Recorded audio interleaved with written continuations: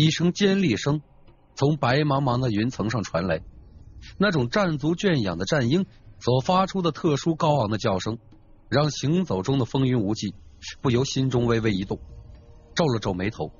风云无忌不禁抬起头来，庞大的精神在无声无息中破体而出，慢慢的弥漫而上。天空只有连成一片的与积雪无异的云层，但风云无忌仰首向天的漆黑瞳孔上，那自厚厚的云层之上，却渐渐显现出一个苍劲有力的模糊黑影来。那黑影伸展着双翅，在极高处俯视着大地。风云无忌的意识突然速度暴增，如潮水般自四面八方向着那苍劲的战鹰没去。又是一声厉叫，从天空刺破云层，斜斜的没入大地。一丝微笑自风云无忌的嘴角浮现，笑了笑。风云无忌大袖一展，低着头，脚下依旧不紧不慢的向着心中那片圣地轩辕丘而去。这一日，战地峰上空的战鹰厉叫声一直响了一整天。随后，峰顶的战将发现，这只战鹰。居然在天空沿着同样的圆形轨迹转了整整一天。北海轩辕丘，一处人族心中的圣地，每年都会有一些不知名的朝圣者到这处圣地去忏悔、去朝圣。不管在这片区域以外的地方是何等身份，但在这里，每个人都保持着一种谦卑而恭敬的心。太古。很大很大，在许多看得到、看不到的地方，都有着许许多多的人为着心中的理想奋斗着。他们或许失败了，在这个过程中，他们或许犯下了许多的罪恶，但并没有被人察知。但在这里，他们都是可敬的，在心灵上他们是纯洁的。站立在雪地中。风云无忌默默的眺望着远处若隐若现的北海轩辕丘，脸上露出了复杂的神色。右腿朝着北海轩辕丘踏出一步，终又缩了回来。死在我手上的人族也不少啊！轩辕丘，今后恐怕我都很难有脸再踏入那个地方了。唉，长长的叹息一声。风云无忌的脚步一转，向着另一方曾经与荧惑一起夜宿过的斜塔走去。或许是因为时间不对的原因，一路上风云无忌很难见到几个黑袍的朝圣者。与上一次朝圣相比，现在这时间里，陆陆续续沉默不语向着北海而去的朝圣者非常的稀疏。尽管不知道那个传统因何而起，又如何兴起的。但每一个到北海忏悔的黑袍朝圣者，都不约而同的遵守着这个传统。在这里，所有人恢复到意义位面最初始的状态，都舍弃一身所学，以一个意义面中普通族人的身份来参拜，寻找内心中最珍贵、最本源的地方。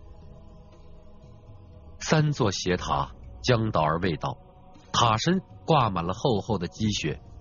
就似一个见证者一般，见证着朝圣者们至诚的足迹。轻轻的推开已半残旧的木门，大棚的积雪从木顶上滑落，飘落在风云无忌的肩上，随后又抖落在地，发出沙沙的声音。风云无忌和其他的朝圣者一样，如同幽灵一般，慢慢的踏入斜塔之内。寒厉的天气。在外化为默默的风雪，在内成了斜塔的地面上厚厚的一层寒冰。地面虽寒，但几位朝圣者却甘之若饴的盘坐在地上，紧闭着眼睛一动不动，谁也没有说话，也没有和其他人交流的欲望。每个人自身一个世界，悲凉而萧索。风云无忌慢慢的踏着枝桠呻吟。洒满由缝隙处露出积雪的木梯，慢慢的走上斜塔二层，在墙壁上找到了那盏灯，慢慢的点燃，端着那灯放至地上，随后在那盏灯旁盘膝坐下。斜塔二层，清冷而寒冰。那盏灼灯发出微弱而苍白的光芒，摇曳不定，与斜塔内苍白的环境融而为一。在这里，风云无忌再次感受到了那种内心极其安宁的感觉。踏入这个安静的斜塔，便如踏入了另一个世界，一个只有自己、只属于自己的世界，一个远离外面的世界。隐隐约约的一阵低低的抽泣声随着风穿过缝隙传来，听着那种悲凉的抽烟，人心变得更加冰寒，隐隐带着点绝望。渐渐的。完全是一种无意识的行为，风云无忌的意识便如水化般化入周围的空气中，慢慢的没入整个冰天雪地，无思无想，异常的平静，连自己也一并忘却了。所有的生气迅速从风云无忌的身体中散去，躺在这里的已与一姐枯木无疑。古旧的油灯中。灯油并不是很多，但却非常经烧。一盏灯，往往很久的时间过去，油灯内的灯油却并没有减少多少。一方古旧的油灯，一处不大的空间，一个被人遗忘的角落，寂寞在心中静悄悄的滋长着。如果没有人打扰的话。风云无忌可能便在这种无思无所、无我无物的境界中，静静的度过无尽的岁月，遗忘所有的一切，直到你来了。一个洪亮的声音突然从四方的天地间响起，犹如鼓钟般直击风云无忌融入无尽虚空中的神识。与此同时，风云无忌的西前那盏摇曳不定。灯油半干的油灯中，拇指粗的一朵苍白火焰突然膨胀起来。膨胀到了一定程度时，从火焰的最深处，一道油亮的影子顺着边缘落下，沿着地面延展。噼啪！那团膨胀的苍白火焰骤然发出了一声爆鸣，随后所有的火星全部消失。地上，在风云无忌身前不远处。地面一道影子不断的向上方拉伸，眨眼间，一件宽大的黑袍凭空出现在风云无忌身前，一只枯瘦的手掌抓住那飘飞的衣摆，猛然向下一拉，便紧紧的裹在了身上。你来了，风云无忌骤然睁开眼，盯着身前的黑袍人，脸上从容而平静，仿佛这一切都在他的预料之中。再无任何可以撼动他心神的东西了。啪！黑袍人的右手拢于袍底，时钟二指一错，发出了一声清脆的声音。身后那盏半灭的古灯灯芯之上，一缕火焰突然升起，油灯周围一团蒙蒙的白气笼罩。那老旧的生着污垢的灯油内，原本见底的灯油以肉眼可见的速度慢慢的涨了起来。在这个过程中，黑袍人始终背对着油灯，身子一动不动。油灯上那一簇苍白的灯焰骤然离地而起，飘起在空中。火焰一散，忽而又在空中形成以阴阳太极图案。那一圈火焰四周，一个类似于龟壳的古怪图案浮于空中，将那团阴阳鱼状的火焰拢入其中，正是。八卦图案，你果然没有令我们失望。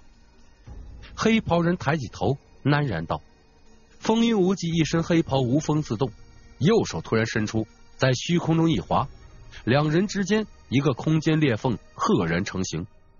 数千里外，那本金丝封皮的书突然自间隔之中消失，手一伸，风云无忌便抓住那卷。”从空间裂缝中掉下的金色封皮的法书，随后一甩，便置入那黑袍人怀中。第三百四十八章：法祖伏羲。我需要你们的帮助。风云无忌直接开口道，脸上一片肃然，毫无保留的帮助。黑袍男子默然，两条粗眉拧成一团。我本以为你不会这么快的提出这个要求。我希望我们的交谈能真正带来某些效果，而不仅仅是一番寒暄。我需要你们的帮助，而你们需要我，事情就是这样。风云无忌冷静道：“但你对我们根本不了解，你甚至都没有开口问过我们的情况，就这么快向我们请求帮助，你不觉得会有些快了吗？”这次轮到风云无忌眉头皱了起来。回答我一个问题：你们不管是什么，可是为了什么私心？你们存在的目的？可是为了人族，不可否认，我们也有些私心。但是总的来说，我们聚在一起，却也是为了人族振兴。黑袍男人想了想，坦率道：“这就可以了。”风云无忌断然道：“我向你们请求帮助，也不是为了我自己。我想，如果你们不是那种自私自利的。”势力组织的话，应该是不会拒绝的。黑袍男子欲言又止，风云无忌完全掌握了场面的主动权。你回去吧。一个苍老的声音传来，黑袍男子四周的虚空一阵扭曲，随后一名发须银白、身着一身洁白袍子、胸口上画着一个极大八卦图。褂子上分布无数挂符的瘦弱老者出现在那黑袍男子身后，大袍一挥，黑袍男子便消失无踪了。无忌，你的要求我完全可以答应你。老者一出现，什么废话都没有，直接回答了风云无忌的问题。不过，不过，关于族内的战争，你们是不会出手的，对吗？风云无忌淡然道，脸上如深山古潭一般平静无波。老者诧然的抬头看了一眼风云无忌，随后沉声道：“不错，太古内的斗争，我们是不可能参与进去的。这次恐怕你要失望了。我本来就没指望你们能帮我对付战族，况且战族恐怕也不是那么容易对付的。”风云无忌，一副老神在在的道，无形之中给人一种容智的印象。老者的神色也有些严肃起来。你到底还知道些什么？不要觉得奇怪，我存在的时间没有你们悠久，但至少我也知道，战族绝不是只有几十亿年的新兴势力，这便已经足够了。尽管。目前战族的表现似乎没有想象中那般强悍。风云无忌不温不火道，扫了一眼老者，随后说道：“你既然出现在这里，想必必然是有些事情想要告知于我吧？说吧，我洗耳恭听。”老者默然，在面对风云无忌时，自身的优势几乎丧尽，根本无法按照想象中的那样。打压对方的气势。巴拉，圣殿果然还是圣殿呐！老者感慨道：“和他们斗了这么久，在眼光方面，我们确实还是比不上啊。”风云无忌的心中一动，侧耳倾听起来，心中了然，只怕这又是一段太古的秘辛了。抬头看了一眼一动不动的风云无忌，在他脸上，老者很难找到一丝迫切与好奇，眼中流露出一抹赞赏的神色。老者说道：“你应该知道巫族吧？太古人类的发展史非常复杂，有早期的时候，所有人对超越自然的力量都疯狂的追求着。”不同的追求路径产生了不同的种族。你们现在遇到的战族，便是源自于此，连带凤飞身后的火族、乌域的巫族一脉，都是因此而诞生。在盛典之时，左氏应该告诉过你，术法的修习速度要快于武道吧？风云无忌点了点头，脸上非常平静，看不出内心的动静。但事实上，风云无忌的心中却是震惊不已，暗道：如此看来，他们虽然没有介入太古事务，却一直观察着整个太古的动态，连凤飞居然都没有逃脱他们的耳目。老者继续道：“放眼太古，你可见到几个真正修炼过法术的？”银谷，风云无忌突然开口道。老者内心震惊不已呀，脸上不动声色，却是快速的打量了一眼风云无忌。见他似是无意中说出“银谷”二字，心中松了口气。银谷只是一些术法的修炼者。老者一笔带过此处，接着说：“整个太古近乎武者的天下，但却又有几人知道曾经？”还有一个庞大的分支，一支足以与术法修炼者分庭抗争的力量——修法者。当初人类从触摸到神级领域那一刻起，便注定了内部的分裂。共族的诞生便是源自于此。当时有一人惊世绝才。他当时所悟的神通，比当时的一些领导者领悟的还要深。尽管知道这一情况的并不多。太古力量等级划分为太古级、皇级、地级与神级，每一级都足够资质平庸之辈耗上漫长的岁月。踏入地级的人已经极少，更何况神级呢？那名惊世绝才的族人一直在思考着，怎样将抽象的神级向人族的其他同胞解释，以及让更多的人掌握神级的力量。但最后，他却无意中窥见了人类的真相。真相，风云无忌犹疑道：“这个却是超出了他的预料。